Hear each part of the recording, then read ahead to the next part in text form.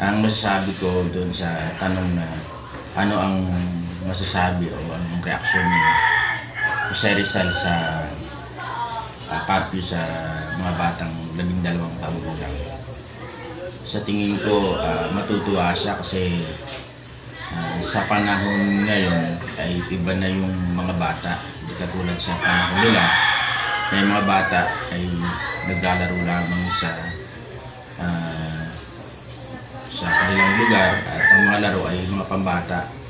At ah, pag mga bata kasi noon, may oras ng tulog kasi naranasan ko din yan nung ako'y bata pa.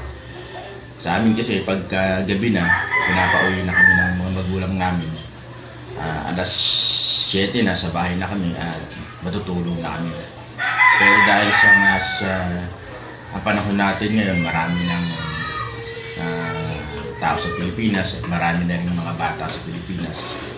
At hindi na rin naalagaan ng mga magulang dahil sa dami na nilang kanilang anak o kaya sa hirap ng buhay sa liit ng kanilang tahanan. Kaya yung mga bata ay nasa labas na kahit na hating gabi.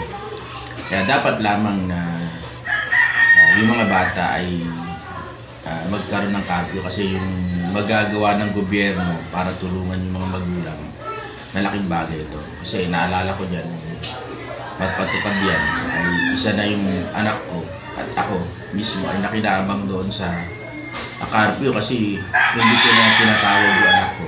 At siya mismo, bago mag alas 10, dumarating na sa bahay namin. So malaking tulong yung para sa akin, sa aking karanasan. Ha?